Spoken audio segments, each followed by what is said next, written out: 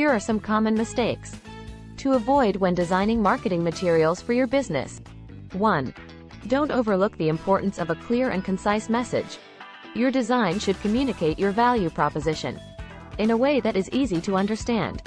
2. Avoid cluttered designs that overwhelm your audience.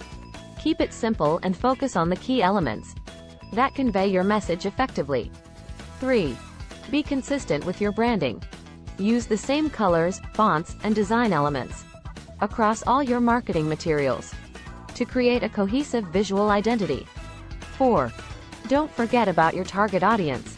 Your design should appeal to them and speak to their needs and interests. 5. Avoid using low-quality images or graphics.